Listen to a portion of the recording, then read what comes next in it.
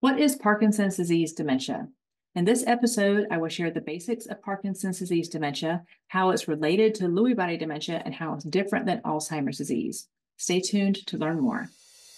Welcome to This is Getting Old, moving towards an age friendly world. I'm your host, Dr. Melissa Batchelor, and I am a nurse and a nurse practitioner, and I've been caring for older adults and their families for over 25 years. Before we dive into today's topic, I just wanted to share a few of the different ways that you can connect with me. First, you can subscribe to the podcast. If you haven't already done so, you can do that from whatever platform you're listening on today. And if you like the episode, please like it, leave a comment, or and share it with someone that you think it will be um, beneficial for. You can also go to my website, melissabphd.com, and sign up to be part of my newsletter.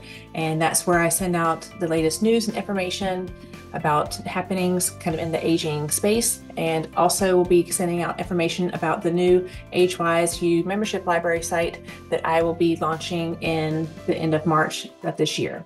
And that's where I'm taking all of the podcasts that I've done and organizing them by topic so that you don't have to try to scroll down through a gazillion thumbnails to find other podcasts that are related.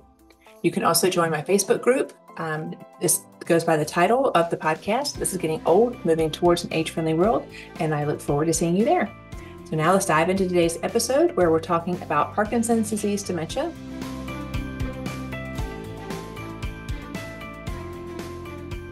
So, first of all, what is Parkinson's? Let's talk a little bit about what's happening in the brain when a person develops Parkinson's disease. Most people who develop Parkinson's are over the age of 50. Parkinson's disease is a progressive disorder and it develops when the brain cells that produce dopamine stop working or die. And dopamine is a chemical in the brain that's involved in movement. So the condition is characterized by motor issues such as muscle stiffness, tremors, or balance problems.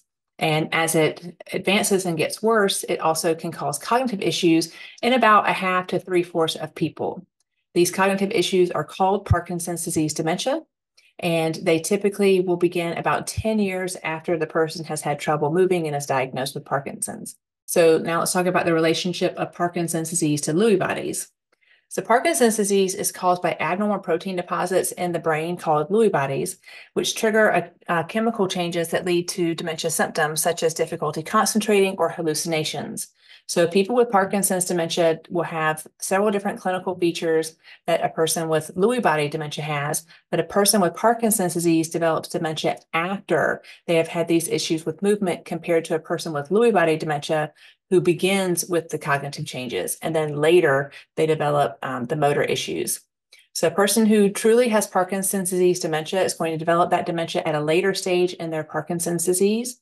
So if a person shows signs of dementia within a year of Parkinson's disease, of, of a Parkinson's disease diagnosis, they've probably been misdiagnosed and actually have Lewy body dementia. Now let's talk about signs and symptoms. So symptoms of Parkinson's disease are gradual and they're very subtle. And as I said, they're going to begin about 10 years after that person is diagnosed with Parkinson's because of the they're going to be diagnosed because of the movement issues, not because of the cognitive changes. So when the dementia does begin, um, and again, remember this only happens in you know, one half to about three quarters of people, the person will first have mild cognitive pro- mild cognitive problems like changes to their executive function, which means um, their ability to plan and multitask is going to be affected. And what this would look like in a day-to-day situation is as a person is beginning to have trouble managing appointments, maybe making decisions, paying their bills, or staying focused during a conversation. As Parkinson's disease dementia progresses, the person's going to begin to have trouble coming up with words and they're going to have a really hard time understanding complex sentences. Another thing that will happen is the person is going to have extreme symptoms such as REM sleep disorders. And that's when a person physically acts out their dreams or their hallucinations. So people living with Parkinson's disease dementia can become really irritable and agitated and even really aggressive. So in addition to the hallucinations, they can become paranoid or have delusions. And uh, you know that means they're having um, very strange and unrealistic beliefs. They become very suspicious or they become distrustful. So, how is Parkinson's disease different than Alzheimer's? Well, both Parkinson's disease and uh, Parkinson's disease dementia and Alzheimer's disease are two forms of dementia that can impact a person's memory in different ways. And Alzheimer's disease typically interferes with the person's ability to create new memories and store information, versus a person with Parkinson's dementia may have short and long term memory loss or forget how to perform even simple tasks like how to run a dishwasher. In Parkinson's, you can learn new things, but it's going to be difficult to retrieve that information.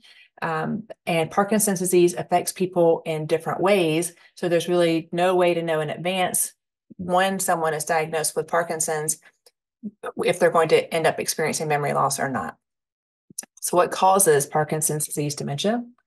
The exact cause of Parkinson's disease dementia is still unknown. Um, experts think it's because there's a protein called alpha synuclein, and it builds up in your brain and it creates these clumps called Lewy bodies and neurons, which are nerve cells, and then those neurons begin to die. The death of those cells usually result in the movement symptoms that are typically associated with Parkinson's.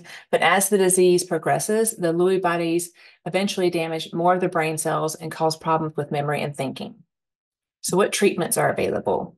Well, there is no cure for this type of dementia or any other type of dementia, but medications are available to help manage the symptoms and improve that person's quality of life. So your provider may start with an anticholinesterase inhibitor to treat the symptoms related to memory, thinking, and judgment. And that because they also support communication between those nerve cells in the brain. And the person may be prescribed a sleep medication to treat you know, an REM sleep disorder and improve overall sleep quality.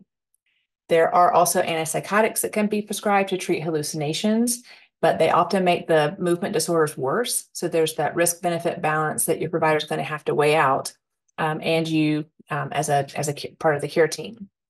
A treatment plan could also include occupational or physical or speech therapy to help that person improve their communication, regulate their sleep schedule, and engage in the things that they want to do every day, like taking a bath or getting dressed. They can help come up with strat- strategies for how you adapt doing um, each of those activities. And then other recommendations um, include lifestyle changes such as practicing sleep hygiene, eating a balanced diet, exercising, drinking less alcohol, and all the other things that help boost brain health and overall well being. So, some resources for you um, the Parkinson's Foundation. Um, their website is parkinsons.org. They have a lot of information about understanding Parkinson's disease more. So, they do a deeper dive in, into Parkinson's disease. Um, they have strategies for living with the disease, as well as other resources and support if you or a loved one has been diagnosed with Parkinson's and you are experiencing changes in your memory. You can also check out my other episode. Uh, it's titled Dementia 101, and that's where I briefly go over the most common types of dementia. It's also on my website, melissabphd.com. And there you can find a lot more information about how dementia is diagnosed and find other resources, including coming very soon, the AgeWise um, link to that membership library. Thank you for listening today, and I hope this has been helpful information for you. Please don't forget to connect with me by subscribing to this podcast, and you can leave a comment. You can share it with someone else who might find this information beneficial. You can also go to my website, melissabphd.com, and sign up to be part of my newsletter. And you can join my Facebook group for which is titled after the podcast called This is Getting Old, Moving Towards an Age Friendly World. And I look forward to seeing you there.